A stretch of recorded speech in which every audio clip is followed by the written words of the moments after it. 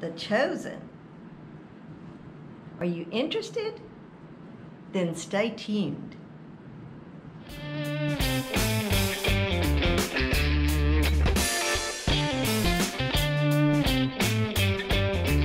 Hello. I was at my office this afternoon getting caught up on some work, and um, I'm really excited about something that's premiering tonight, and I just wanted to drop in here for a minute and tell you a little bit about it. I shared on my first comeback video that I had a different attitude, I guess would be the best way to put it, about life and about just things in general, probably.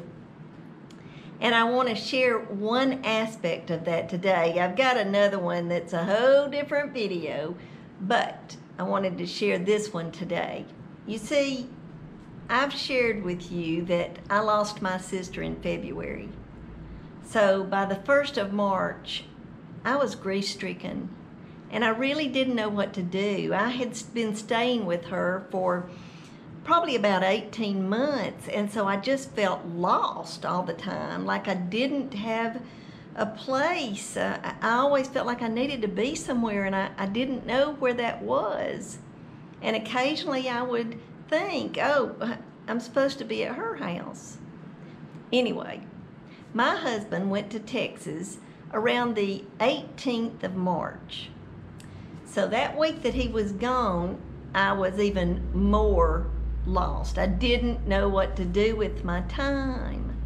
I was too sad to make videos, so I just watched a lot of videos. Praise the Lord for Sandy with Let's Get Fit with Sandy. She got me through a lot of down times, a lot of times when I was feeling sorry for myself or I was so disheartened because I had been struggling with three or four pounds all year on Weight Watchers. I just couldn't seem to get them off.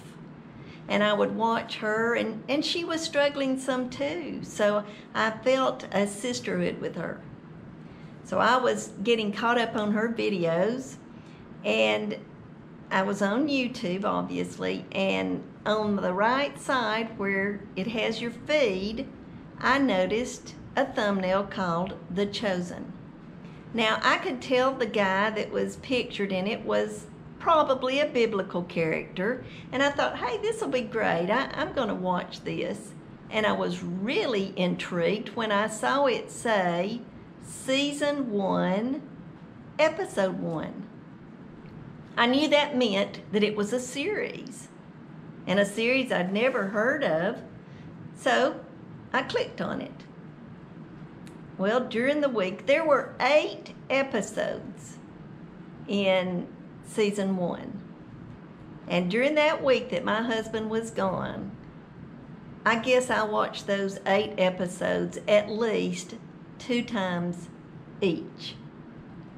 And within that week, I became hooked on The Chosen. You know, it centers around Jesus and the people he chose to follow him. The first few episodes, I'll just warn you right now, the first few episodes are introducing the characters, and sometimes uh, it might seem a little slow or it's hard. It's just like a book. You're getting used to whoever is in the book. Well, that's the way it is with this series. I mean, Jesus barely is in the first two episodes. Uh, in the third episode, he's in it most of the episode. I'm not giving away any spoilers. I'm just telling you, be patient. Because by the fourth episode, you'll be hooked, just like I was. And the fourth episode is one of my favorites.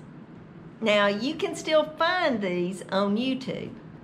And if you have not been watching The Chosen, please consider watching it. During the pandemic, especially the first few months, I was stuck at home and I struggled to find anything worth watching.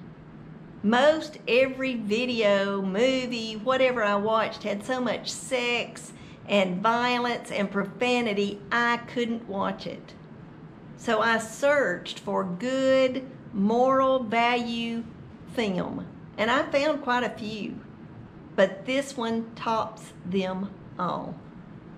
So, tonight, I think it's episode six from season two that premieres, and I'm very excited about it. But I don't recommend any of you out there that haven't watched the first season to watch tonight. You'll get to watch it eventually. But I know you will be blessed if you start watching The Chosen. And if you're already watching it, I hope you'll be there with me, all ready and excited to see what's going to happen tonight. Thank you for watching this video. I, I know it's not been about Weight Watchers, but it is as important to me and my life as Weight Watchers is. So, if you like this video, give me a thumbs up. If you're not subscribed, please consider subscribing. And let me know how you think about this new part of Meema McLiving Healthy. I think it's one of the best parts of me. Goodbye.